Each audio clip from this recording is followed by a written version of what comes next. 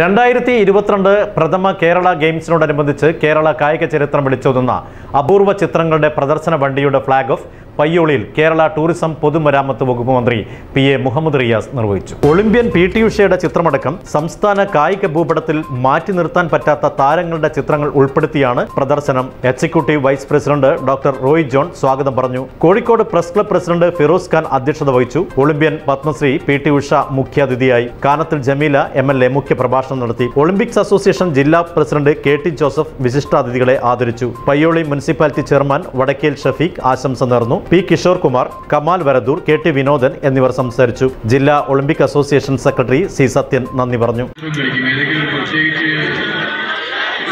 ഫുട്ബോളോ ക്രിക്കറ്റോ ബാസ്കറ്റ്ബോളോ വോളിബോളോ ഷട്ടിലോ ചെസ്സോ അങ്ങനെ എല്ലാം കളിക്കാം അങ്ങനെ കേരളത്തിന്റെ കായിക മേഖലയ്ക്ക് ഒരു ഉണർവാണ്. അപ്പോൾ കോഴിക്കോട് തന്നെ പരിശോധിച്ചാൽ അത് സ്റ്റേഡിയത്തിൽ എന്തെല്ലാം state നായകി football tournament federation Nehru trophy ഈ ബാസ്കറ്റ്ബോളും വോളിബോളും ജിമ്മി ജോർജിന്റെ നേതൃത്വത്തിലുള്ള കളി ഞാൻ ഇപ്പോഴും indoor stadium basketball volleyball cricket ക്രിക്കറ്റിന് വലിയൊരു സ്റ്റേഡിയം ഇല്ലെങ്കിലും ഈ സ്റ്റേഡിയത്തിൽ തന്നെയായിരുന്നു ക്രിക്കറ്റ് ഞാൻ ഓർക്കുന്നു അസറുദ്ദീനും സച്ചിനും ഒക്കെ വന്ന് അവിടെ ഒരു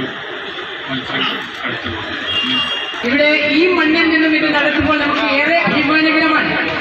കാരണം നമ്മുടെ P T Usha Padmashri P T ഉഷയുടെ ഒരു നാട് എന്ന് പറയുമ്പോൾ തന്നെ കോഴിക്കോടിന്റെ അഭിമാനമാണത് ആ അഭിമാനത്തിന്റെ ഈ മണ്ണിൽ നിന്നാണ് ഇത് തുടങ്ങുന്നത് എന്നുള്ളതിന് ഒരു പ്രാധാന്യമുണ്ട്. ആഘോഷങ്ങൾക്ക് മാറ്റുകൂട്ടുന്ന പൊന്നണിയ. സന്തോഷ നിമിഷങ്ങളെ ഹൃദയത്തോട് ചേർക്കാം. golden dance.